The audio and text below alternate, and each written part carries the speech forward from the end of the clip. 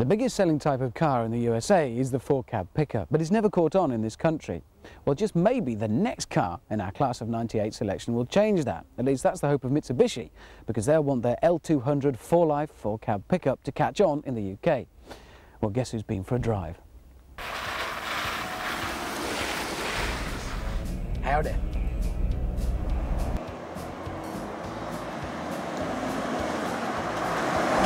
The American market loves pickups. They buy them in their millions. It's the standard car over there.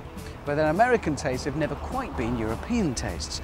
For instance, the Americans also like brightly coloured golfing trousers and incredibly large thighs. So their taste will never necessarily coincide exactly with ours. So it's a brave move to try and introduce the market with something really very new indeed that we're not used to.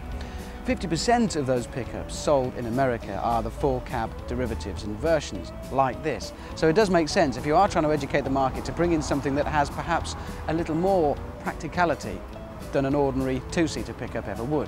Having said that, the practicality is pretty limited. Four-seater it might be, but if you've got four people or even, as all the booklets say, possibly five, I don't know where you're going to put the luggage. There is only one luggage space and I'm standing in it. And if it were raining, I'd be getting wet. And if I were left overnight in it, I'd be stolen and all my serial numbers scratched off.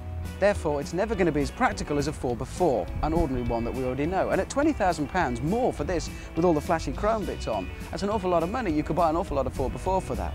No, primarily this car is about one thing and one thing only, image. It's about looking good. It is definitely more surfs up than mud plugging.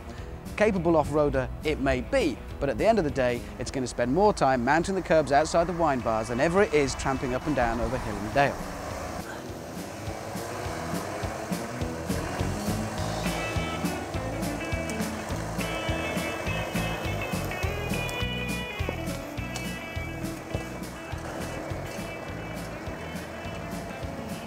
Basically, it's a macho feel-good thing.